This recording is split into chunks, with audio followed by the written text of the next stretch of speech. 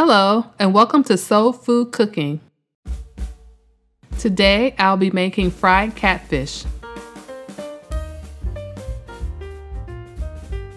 You will need 2 pounds of catfish, 1 cup of cornmeal, 1 4th cup of all purpose flour, 2 eggs, 2 teaspoons of garlic powder, 1 teaspoon of onion powder, 1 teaspoon of paprika, 2 teaspoons of salt, 2 teaspoons of black pepper, and canola oil for frying. In a small bowl, combine the paprika, onion powder, salt, pepper, and garlic powder and mix well.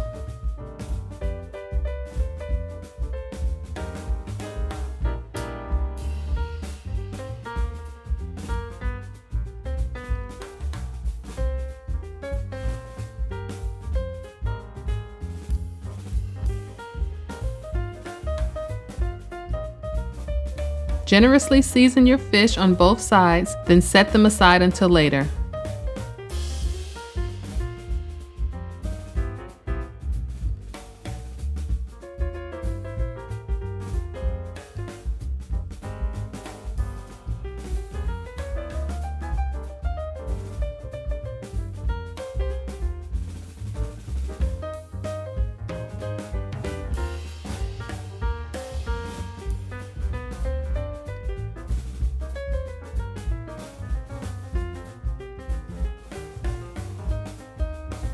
In another bowl, whisk together the cornmeal, all-purpose flour, and the remainder of your seasoning.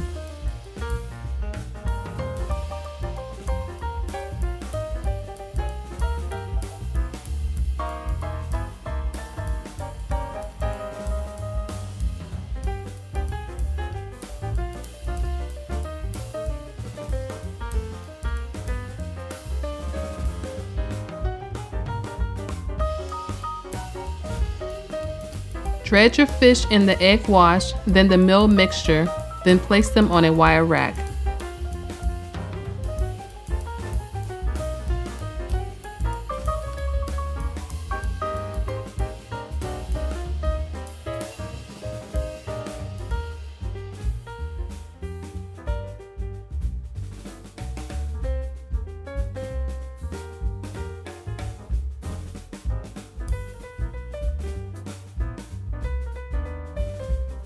In a cast iron skillet, preheat your oil to 350 degrees. Now fry your fish for 7 to 8 minutes. Remove the fish from the frying pan, then place on a paper towel to remove the excess oil. If you're looking for a quick and delicious meal, then give this recipe a try. Thanks for watching and don't forget to subscribe to Soul Food Cooking.